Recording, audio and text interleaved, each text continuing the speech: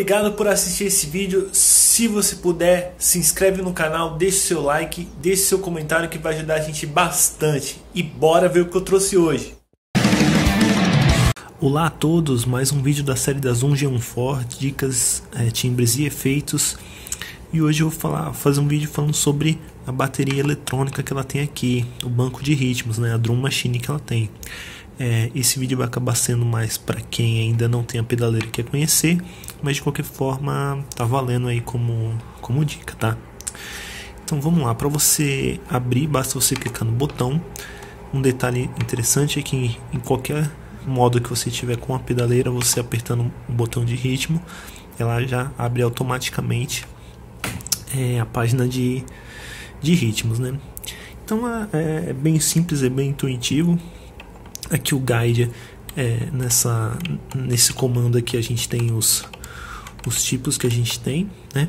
Para você ligar e começar a ouvir os os grooves, ó, basta você apertar o botão esquerdo do pedal, o lado esquerdo, né? O pedal esquerdo. Olha lá, ele já começou. Aí conforme você vai mexendo aqui, você vai trocando. Já tem alguns grooves, claro, são grooves lineares que não, não se alteram, sem viradas nem nada, mas serve como estudo, né? Tem vários ritmos aqui, eu não vou passar um por um, mas ó, você vê que tem rock, rockabilly, heavy, punk, fast, emo, tem uns de jazz e blues bem legais. Né? Para você parar de tocar, basta você apertar o botão direito, né? o pedal direito.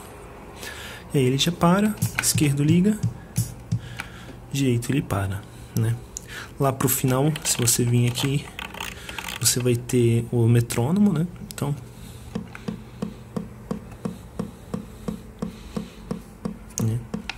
caso você queira estudar só com metrônomo e tem os outros grooves. Esse conte aqui, sendo bem sincero, eu não sei porque ele, qual que é a função dele. Pode ser que tenha alguma coisa a ver com loop. Depois eu vou dar uma estudada e ver e gravar um vídeo falando sobre o loop para para ver se realmente tem alguma relação, mas até então é, apenas ligando e desligando a bateria não tem nenhuma. Eu não vi nenhuma diferença aqui com ele ligado ou ele desligado. Se alguém souber, quiser deixar aí no comentário, já é bem, bem legal também para quem estiver buscando essa informação e para eu saber também. É, aqui os batimentos por minuto, né? Você aumenta ou diminui de acordo com a velocidade que você vai estudar ou vai praticar ou vai desenvolver alguma ideia, e o volume, né? Que é o volume em relação ao a mixagem do timbre que você estiver tocando e o volume geral da pedaleira, né?